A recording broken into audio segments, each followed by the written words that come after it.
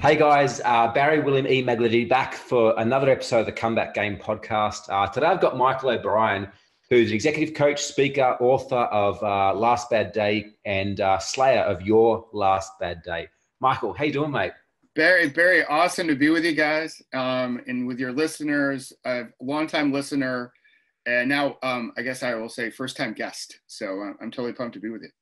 Mate, we're super stoked to have you here. Uh, where are you calling in from today? Uh, right outside of New York City in the States. So I live in technically New Jersey, but I, like I can see the city from where we live. Yeah. So it's like 9 a.m. there or something? Yeah, 9 a.m. bright and early this Thursday morning. So a good way to start, getting to talk to you. And then once we get done, I'm going to get on my bike and go for a little bit of a ride. Yeah, cool. So uh, before we get too far into it, why don't you just share with the listeners today uh, a little bit about yourself? Sure. Well, I, you know, I was um, a guy that was following the script I thought society wanted me to play, and I know you've you've talked about this with past guests. So coming out of university, I basically thought, well, you come out of university, get a degree, um, get a gig, meet a girl, marry a girl, start a family, buy a house, work your way up the corporate ladder, and I was doing like all that, I think, fairly well, and I long story short, I spent 22 years in corporate America, mainly in healthcare. And then mm. in 2014, I decided to take a leap into being an entrepreneur, starting my business as a coach and a speaker and an author. But along that way, I had, as your introduction uh, said, I had my last bad day on July 11th, 2001. It was a day I got hit head on by a Ford Explorer and SUV when I was out on a bike ride and it's the day that changed everything for me. It shifted my perspective in almost every aspect of my life, and it's a day where I call it my last bad day, but in a lot of ways, it was one of my better ones. Hmm. So let, let's talk a bit more about that because, as you know, like listening to the comeback game, and a lot of the guys and, and girls that have been listening for a while now, you know, the, the premise around what we what we do here is is really, I suppose, to shine a light uh, into people's closets and and help them to realize and to be okay with the challenges and adversities that come up in life. Because I honestly believe that you know like we never get given anything you know god the universe never gives us anything we're not prepared to handle. And I honestly believe that, that, that the challenges and the setbacks the adversities we have become our greatest teachers if we let them. Uh, so let's talk a bit, a bit about that. Like like what was going on for you prior to that bike accident yeah, so prior to the bike accident, I would say I wasn't living my life with any type of awareness. I was if you had met me, like on the surface, things looked pretty um, cool beans, right? I had a, a really great gig. I was the marketing director for my company's biggest product. A lot of pressure, though. I would often say if we sneezed, the whole company caught the flu because we were the reason we came from Japan to the States. So, but a big job, and I was I, I loved the work, mm. but I also felt like I had to be like Superman at work because I was the leader. I thought I had to have all the answers. And that role didn't change too much when I went home because I was the father of two young girls. My wife and I had been married seven years at the time. We've, we'll celebrate 25 years here in two weeks. Um, so the story got better over time. But I thought I had to be Superman at home too because I was the provider. I was the breadwinner. And what I was doing was pouring a lot of stress inside of me and trying to pretend like, hey, I'm all good. We're all fine. And I would just pour the stress inside and, and try to repress it, try to restrict it. In a lot of ways, Barry, I was chasing happiness, which I know you've talked to many people and the people you coach, where it's like I conditionalize my happiness. I'll be happy when I get promoted. I'll be happy when I make more money. I'll be happy when I buy that new car or what have you. And so, and, and I really thought I was doing what society wanted me to do. I thought that was part of the script because, hey, they pay you for a reason because it's stressful. Like, you know, suck it up and, and do it.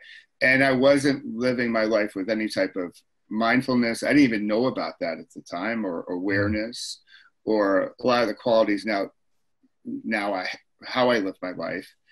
And you know, to your point, God, universe, whatever, it gives us things that we can handle. And I think, mm. you know, when I look back, I had a lot of signs to say, hey, hey, hit the pause button, breathe, Mm. Think about how you want to show up. But I was so busy doing, I was so busy on that hamster wheel that I blew past them. I didn't even see them.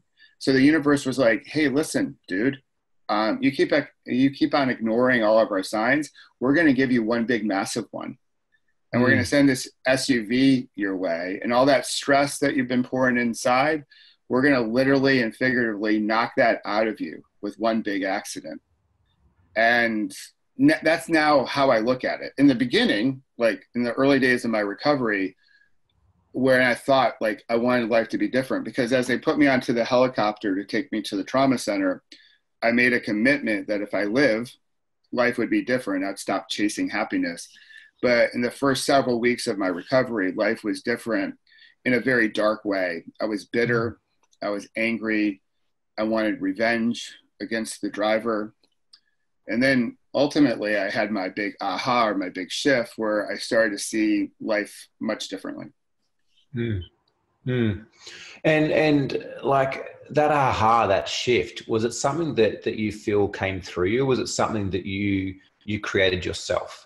You know, like like this is often the thing that I'm curious about. Was it was it an, was it a conscious thought? Was it something that you feel that you physically did, or was it something that was done upon you? I think it's really, you know, for, at least for me, it was a combination. I, I, I believe this that like our success in life happens in the moments between our moments. Mm. So a lot of times we talk about the big aha, mm. but there are a lot of little m- micro ahas that lead up to that. And so I think what was happening for me is that I was starting to pay a little bit more attention because I did make mm-hmm. that commitment you know and and i really was in a life and death situation because on that day i broke a whole bunch of everything and the left femur shattered. It just exploded by the impact. And what happened was my femoral artery of my left leg was severed because the bone just like sliced it like a knife. And so the doctors told my wife had i been 10 years older or not healthy at the time i certainly would have passed away before i even got to the hospital um, but that frame of mind early on, because they shared with me after I came out of the ICU, like, hey, Michael, you're going to have a life of pain and suffering, more surgeries, dependencies, limitations. And in the whole spirit of we go where our eyes go, I went to a dark place. All I saw was everything I had lost, everything I couldn't do anymore. But slowly but surely, I was like, I, I knew enough intellectually that I was like, I got to get my mindset right. But I was struggling. It was like such the mm-hmm. resistance because the reality that was being painted for me and where I wanted to go was like running up against a brick wall. So I think I had a lot of those moments. And then I got to the big aha. And that was during a physical rehabilitation session where I just looked around the room. I paused. It's, it seemed to last for like five minutes, but it was really more like 15 seconds. I just sort of scanned the room and I, and I wondered like, hey, some of the patients there were getting better and some were plateauing and some were actually getting worse. And I was in the camp where I was just sort of plateauing. I wasn't making enough progress. And I wondered like what's getting in their what's getting in their way or what's accelerating the other people. And I realized it's like it's how they were showing up, their frame of how they look at their injury. And that choice, right? That choice of like, do I want to stay a victim? Because that was my narrative in the beginning or do I want something more out of life? And at the time, as, as corny as this sounds, I looked for another V word. Like, so what's the opposite of victim? It's victor, right? So I was like, I'm going to be a victor. I'm going to be resilient. And I knew then that I had to like shift my mindset and really tap into the resilience that I, that I knew was within me. But mm-hmm. up until that point, I really couldn't recruit. So mm-hmm. a little bit of a, a little bit of both. I think I started, the moment came to me, but I had enough awareness at least then to accept it right there was enough space mm. before my life all those signs and you know signals i didn't have any space because i was so busy doing i was so hmm. busy on the hamster wheel that i never even saw them i just blew past them mm. and uh, like you talk about like uh, this shift in this aha and, and obviously a state uh, state shift in your thinking did you find that it was a once-off thing, or, or has it been something that you you still to this day continually work with to to kind of keep you on the straight and narrow and keep your eyes focusing on what you'd like? It's a from that moment I made a dedication, Barry to start my start my days differently, to frame my days differently. So it's call it intentionality, call it a practice, you know, throw in some discipline, but it's like, you know, waking up every day uh, with gratitude. And I developed a gratitude practice as well, which was sort of a cornerstone to my recovery and really working on how can I become more aware today than I was yesterday. Mm. So, so I have, I have the space, I have, I can see what's, what's happening around me, but I also can feel like what's happening with me right? Because uh, what I love, you've said this before, like sort of like all business problems are really personal problems, right? So in so many words or less. And so, so when I look at managing my business, I want to better understand who I am and when that little inner critic gets going or that voice in my head and all that. So I've really, you know, sort of put on a path to become more aware. I mean, I guess current day we'd, we'd call it being more mindful about mm-hmm. how I'm showing up not only for myself but for everyone else around me. Mm. How long did it take of, of like that consistency? Do you feel in that that that ritual, that morning ritual, before you started to notice significant shifts within your own mindset and your thought thought program, but also within those around you too?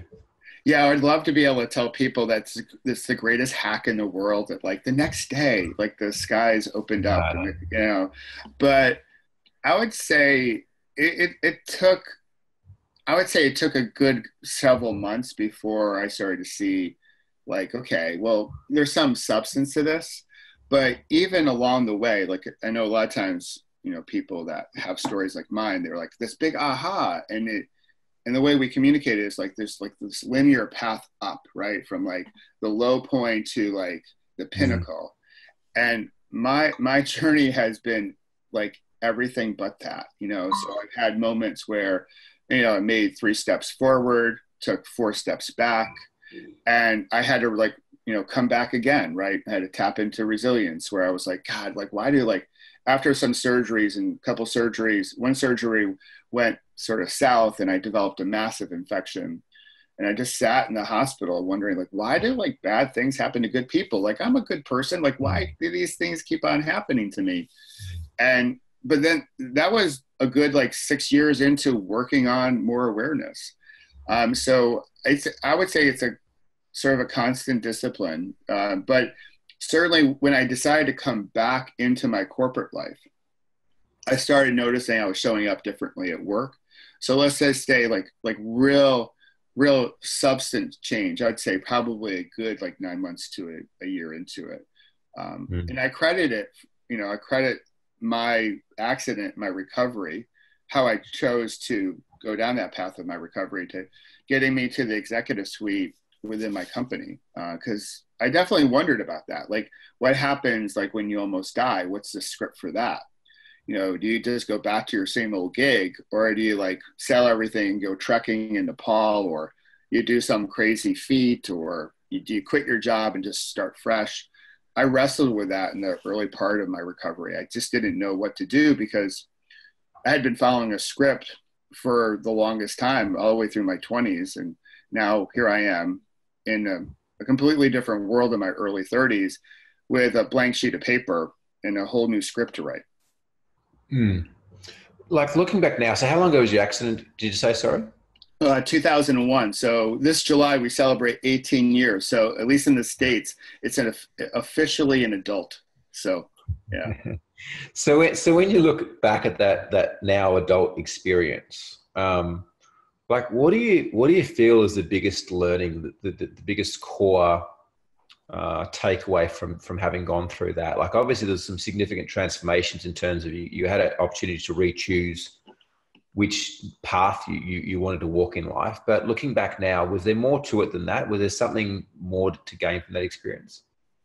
I would say like one of the big things that underscored is now this is my language. So my, my company is called Peloton Coaching. And so, you know, for those listeners that may not know what a Peloton is, it's a group of cyclists in a bike race. So think the Tour de France. And and so it's like community, if you will, right? or it's another metaphor for tribes. And you know, with my business, like with everyone's business, like we're out front and center. Um, even with my book, right? It's like written by me, and I'm on the cover.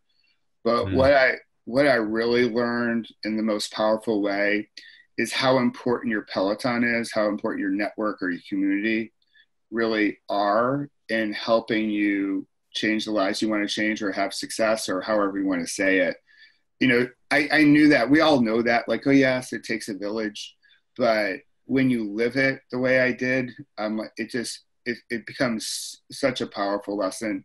I'm only here because of everyone around me you know and, and that's led by my, my wife and my daughters but my medical team my friends my extended family colleagues people that i didn't even know who you know put energy out there, prayed for me, whatever verb you want to use. Uh, so uh, yeah, I'm only here because of the strength of those around me.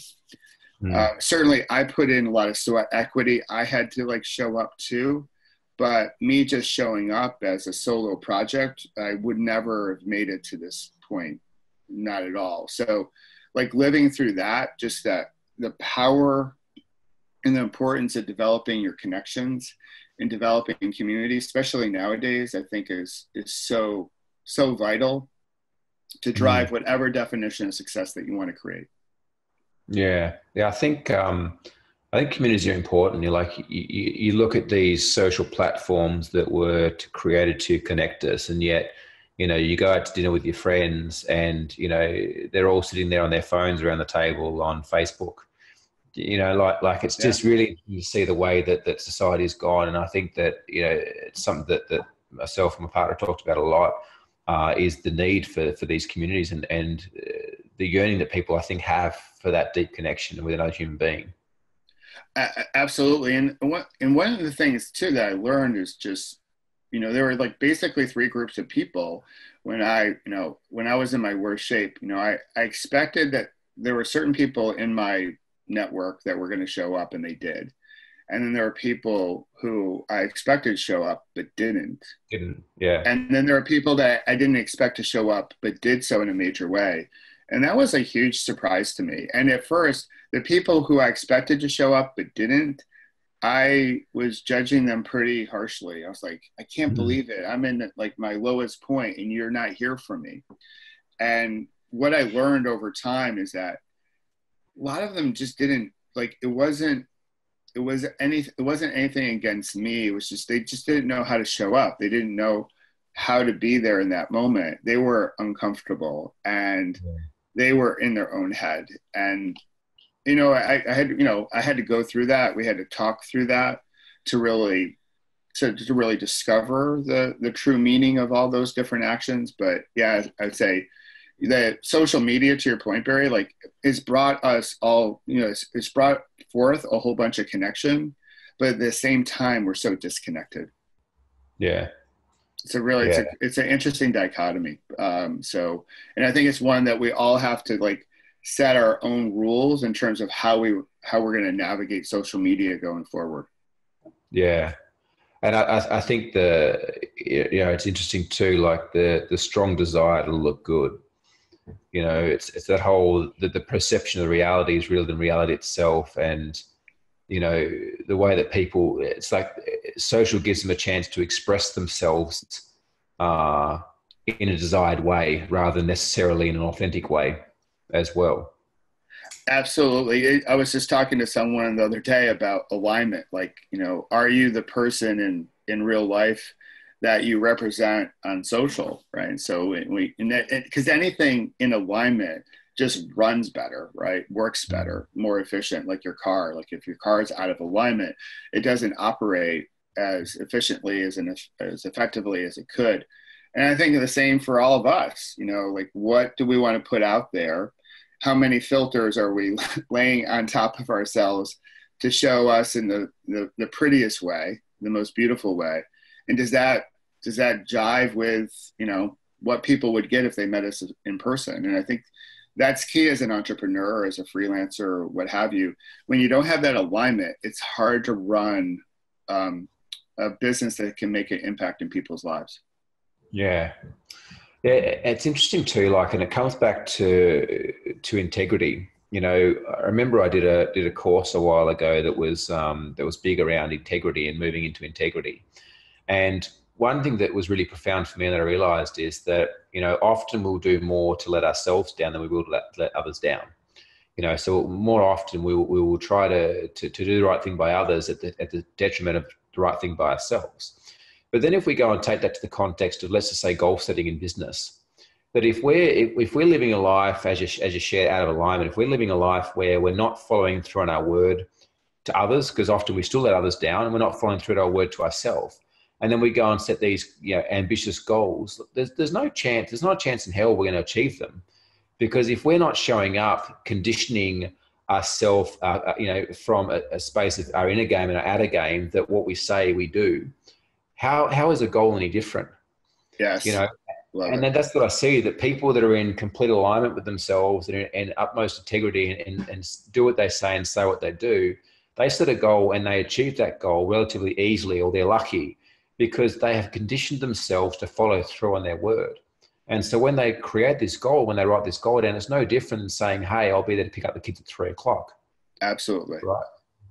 Yeah, no, it's, um, you know it's it's honoring your word again to to others to yourself and but also it's getting getting some clarity around what you want in this wild crazy life of ours right so do you you know what are those values that you want to honor what are the boundaries that you want to put up and and being good with like what you want to go after and not not necessarily like grab on to like well the guy down the you know down the hall or down the block is doing X, I got to do X in order to be successful. I think we can have some wonderful, the wonderful spectrum of success current day, and we can be really comfortable with that. Not everyone has to have an eight figure business or a seven figure business. You know, I, yeah. you know, in the social media world, it's, it seems like that's the benchmark of success. Like, you know, 10x your life or seven figure, eight figure, nine figure where like I think most entrepreneurs or most freelancers are just hoping to make like US dollars here, maybe six figures, right? So it's just um and, and, get, and getting hey if that's what you want to do like get comfortable with that and do that and put all your efforts towards making that happen if you are like a seven eight figure kind of guy or gal then yeah that's cool too um, yeah, you know, but but I, but I would, I would question the why though too. You know, like we've had sure. a number of clients that have come to us that have you know, one of these goals. And when we've challenged them and gone deep on them, realize that, that the goal wasn't actually what they wanted. What they wanted was the experience that they felt the goal would give them. That they could actually get without adding 50 more staff and spending another few million dollars on marketing. I remember um, Mark Manson's book, The Subtle Art of, of Not Giving a Fuck. Yes. I remember distinctly re- reading this. We just finished running one of our events in Lombok, actually, and, and uh, I was with my partner. We were on Gili Island. I was reading his book, and I was just loving it. I remember I got to the section towards the end. It started talking about like, are your goals actually your goals? And to be honest, I never actually really questioned it before then. I'd never really questioned whether or not the goals that I was setting for myself in life were actually my own goals because I believed that they always were. And what I realized after reading his book is that, you know, a lot of decisions that I'd made unconsciously were to fit in with social norms you know, for status or for, for a sense of belonging. And I remember that, that significantly changed the way that I looked towards setting goals. And it started to become a lot more around what felt right rather than necessarily what I what I wanted or thought that I needed. Well, that was how you know to society's norms or you know, social norms. That's how I love lived my life up into my to my accident. I was I was following that script. I thought this is what you do, you know. And I mm-hmm. I had I really hadn't any spent any time like trying to understand who I was or what I really wanted. And you know, once I let go of some of those societal norms or goals, that's when my success really sort of took off. Where I was just like, I'm going to show up back in my corporate job on my own terms, and I've tried to keep that philosophy. Mm-hmm. You know, mm-hmm. when I started my entrepreneurial journey, although there were times where I would still like early on I got into that comparisonitis, you know, sort of mm-hmm. comparing someone's middle to my beginning and be like, oh, I, I should do that. Or, oh, yeah. yeah, I should do that. And not getting really clear in terms of what I really wanted out of out of my business and, and, and the why behind it. Like, how yeah. do I want to shape people's lives and, and help them live a better one? Yeah. Yeah. I'm curious to hear about, uh, we spoke very briefly, we ended up getting into a, deep chat quite quickly before we even uh, hit the record button. I'm curious to hear about, um, you know, like you, you, said you're the slayer of, of, other people's last bad days. And so I'm curious to find out more about that. And, and maybe can you share with the, the, the people listening or watching today uh, around how they can kind of draw a line in the sand and, and make that declaration of, of their last bad day? Because uh, let's let's hope that we don't all have to go through something as as as crazy as you know, getting a head-on collision with the UV. For me, it was it was bankruptcy, you know, eight and a half years ago. That was a really kind of a, a wake-up moment for me and a questioning of whether or not I was moving in the right direction. Yeah. So when I when I reference my last bad day, one of the things I often say to the people I speak with is like, you know, I, I want you to be able to move beyond yours without the pain and suffering that I went through. You know, to me, the last bad day and something that I'm going to launch in July, because I try to do something each July to celebrate my last bad day. So, uh, two years ago, as an example, I came out with my book. And then last year, I launched a leadership academy. So, I try to do look those big hairy audacious goals in july as a statement of like i'm living life right um, but i'm living life in a way to help others because i believe that's one of the reasons why i i live that day yeah so when i talk about the last bad day and what i'm not what it's not about is unicorns and rainbows and brightly colored candies and like just everything is rosy because I, I don't want anyone to, to deny that we all have those emotions of sadness and frustration and anger throughout our days. But for me, that last bad day is that day you decide to live life differently. Mm. So I made a determination when I was in the hospital. I was like, okay, July 11th, 2001. That day obviously was the day of my accident. I go, that's going to be my last bad one. Because what I realized during my recovery is that all the events in our lives, Barry, are neutral until we label them. And we have agency, we have choice in how we label our days. And so we'll have, again, maybe a bad moment or a sad moment during the day, but I don't want five minutes on Friday that are maybe bad in a meeting to spill into a bad Friday, which then spills into or cascades into a bad weekend, which mm. then cascades into a bad week. So for me, the last bad day is like, okay, today is the day. I'm going to live life differently with awareness and mindfulness and resilience and vulnerability and courage and empathy and gratitude and generosity and all those wonderful qualities. And yes, I'm going to have my bad moments. I'm going to have sad moments. But at the end of the day, I get to choose how I label it. And I don't have to label it as bad. I can have a sad day. Mm-hmm. I can mm-hmm. have a maybe a frustrating day. But even when I'm sad, even when I'm just experiencing, say, the emotion of sadness, I can still be grateful. I can still yeah. see some of the positive things during the course of the day. And you know, during during my recovery on September 11th, 9/11 here in the states, and really across the world, I was in the hospital when that happened. And obviously, that was a sad day, not only for us in the States, but again, across most of the world. And so I experienced, like a whole bunch of folks, the emotion of sadness. But at the end of the day, I still had a lot of gratitude. Mm. I had a gratitude for my family. I had gratitude for the first responder, uh, first responders. So I like as I sort of cataloged that day, I didn't catalog it as a bad day. I, I, experienced a whole bunch of different emotions, but there were things I could still take to build upon to go into the next day. So mm. for me, um, what I'll share with people when we get to July are a different different type of roadmap to one to frame our day. So I think it's really important to frame our day in a in the right way with intentionality in terms of how we want to show up. What are our priorities? Working on our not only our body but also on our mind to get those fired up so we can set forth in terms of like how do i want to like show up not only for myself but for others throughout the day um, to start there because what happens too often is that we wake up right next to our cell phone and the first thing that we do is we start to check our email or our socials and already we get on that hamster wheel and we're our day is framed in in everything that we missed from last night and everything that we need to do and we're not present in the moment we just start reacting mm. and then we take that energy into work and we just react and we're not present we're not connecting with the people around us. And then we finish off that day with like probably a whole bunch of email and we pour ourselves into into bed and then we get to the end of the day and we might not necessarily label it as a bad one but it's sort of like a blah day. It's like any other day. And we lose we lose some of the goodness in the day right? Because we're hardwired to pay attention to threats and worry and all that good stuff like that.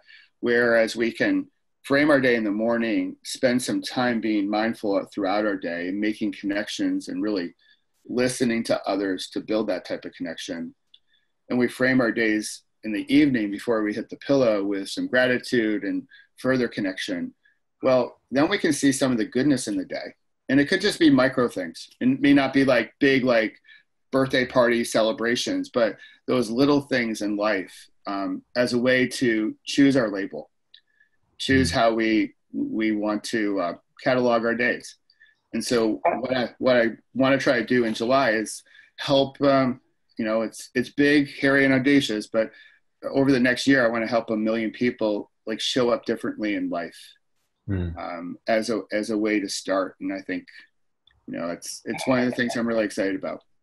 How does how does someone like consciously create that and and choose that and have the discipline like you shared before several months of of you showing up differently before you really start to notice change like you know, in in the world that we live in right now, everyone's competing for our attention, right? And and unfortunately, the one thing that hasn't changed is the amount of time that we all have each and every day. So how does how does someone consciously choose to to de- to not only declare that as being the last the last bad day, but declare to to choose more of those positive emotions and have the discipline to to stay on track and not fall into bad bad habits. Well, I think it starts with a certain level of dissatisfaction with what may be like a series of bad days that someone may be living with or just a series of blah days right? So because mm. without without some of the you know we need some tension to create change. Yeah. And you know so we have to have either it comes from an external source or it comes from within us that dissatisfaction that i want to live differently you know. I, I'm tired of living this way where every day seems to be meh, blah, or bad, or what have you, because I'm not stepping into that definition of success that I want. So I think it starts there. And then there are little micro steps each day. You know, like I had like my big aha, but I do believe like my success over time has been built by maybe small pedal strokes or small steps and the discipline over time to bring about that change and mm. and so certainly along the way i've had like those bad moments. Um, and and and i what i set forth though is the intentionality that each day i'm going to try to step into this. And if i have a day where maybe i'm not as disciplined as i wish i could have been i just, i take that as not an invitation to beat myself up because a lot of mm-hmm. times we set forth i'm like okay we're going to make these changes in our lives and that one day we were we sort of fall off the wagon. Then it's like this open invitation to say like who are you kidding? Like why'd you even start this in the first place? You're, you can't do this.